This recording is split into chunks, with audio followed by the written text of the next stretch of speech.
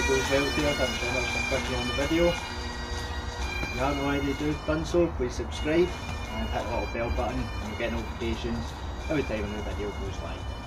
As you can tell from the thumbnail, today we are doing a review of the Berghaus sleeping bag Intrepid 1000.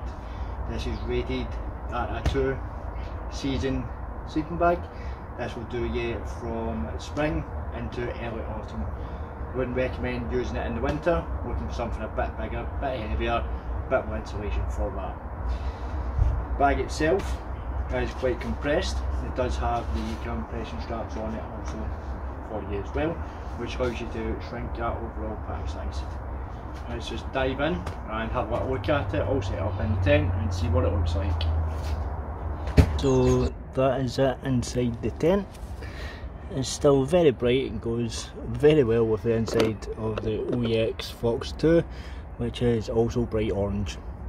Bright yellow, bright green, bright orange, maybe not so great for a stealth camp. Also on the outside here guys you have a little zip which is a pocket.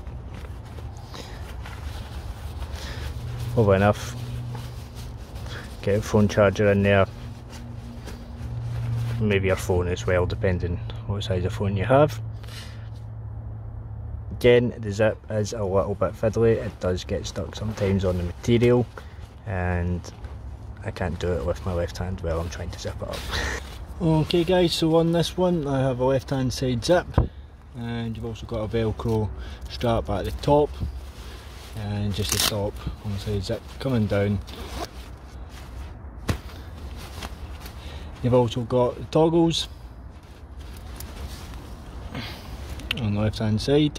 Pull that in, just got to pull it in and trap all the air tight round your head for those cold nights as well. Now the only thing I'd say with this bag is the zip isn't the best. It does get caught sometimes on the inner. Now I'm 13 stone, I fit comfortably inside this and have a little bit of room to move about. Also got an inside pocket, you can put your phone, torch, whatever you want, some goodies, some midnight snacks if you so wish. Again, comfort rating on that in the inside, you can see that.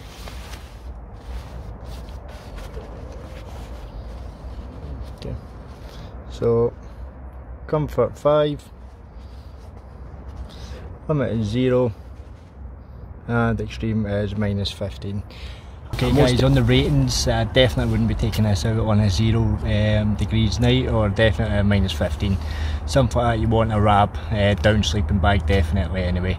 Again, I'm no expert, I just like going out camping, getting out there, this is just in my opinion do not take anything I say with gospel, with my word. Um, it's just my advice and my own personal opinion and what I've experienced by doing what I do and then doing what I love. So, and that's the end of the video guys. Thanks very much for watching. Uh, if you've enjoyed it, please make sure you do hit subscribe and hit the little bell button to be notified every time I put a new video up again and if you want to see what I'm up to and see my new videos when they go live make sure you follow me on my socials Instagram at Scotty Wild Outdoors. And any questions anything like that fire me over there as well. Uh, I'm always happy to try and help when I can. Thank you